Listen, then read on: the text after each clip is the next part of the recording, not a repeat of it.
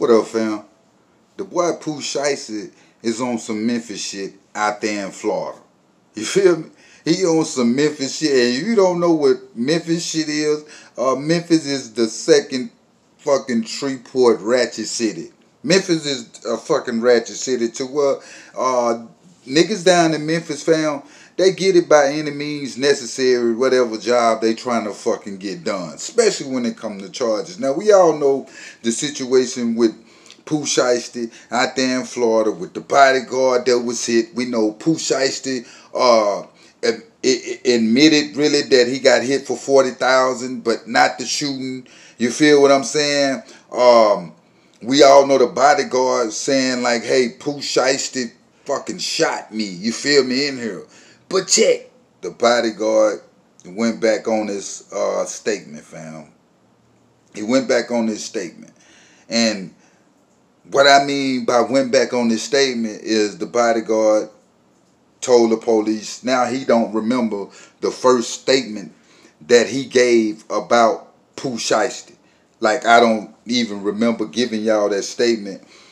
He's the reason why I went to the hospital they gave me some type of drug, you feel me, uh, at the hospital and shit like that. And after then, I can't even remember. I can't even re remember me making that that that statement. You feel what I'm saying?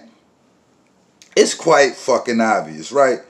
We know Pooh Shiesty got fucking money. He got enough money to change a motherfucker life, to change his statement, right?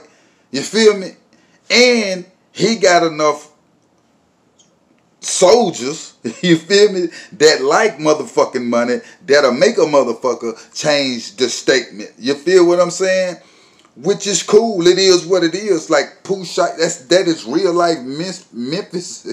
That's real life Memphis shit. That's real life uh really mob type shit. You feel what I'm saying? But the guy that was shot saying, hey, like I don't remember shit.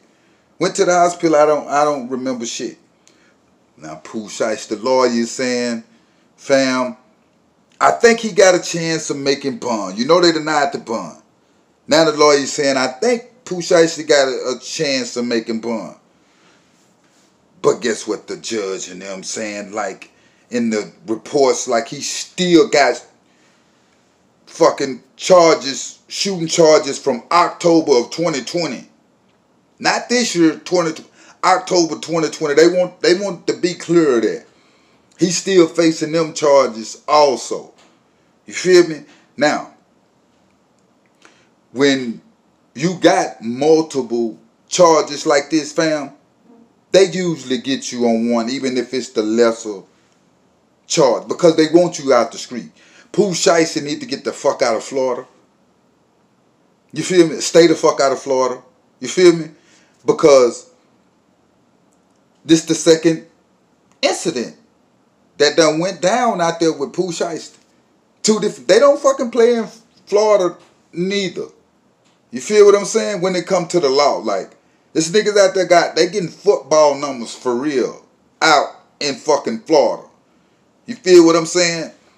And uh Pooh Shiesty lawyer, pretty much, he got um he pretty much saying he got faith that his lawyer like he really got faith that Pooh Shiesty uh, can come home. But that ain't the fucking kicker.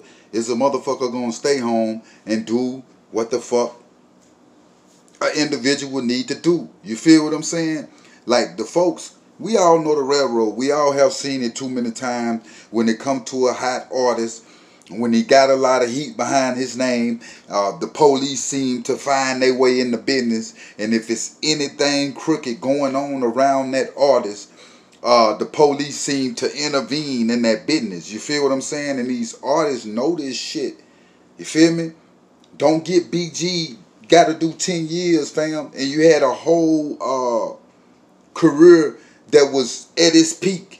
Even Bobby Shmurda was at his peak. Like the they will hide you for a minute, fam.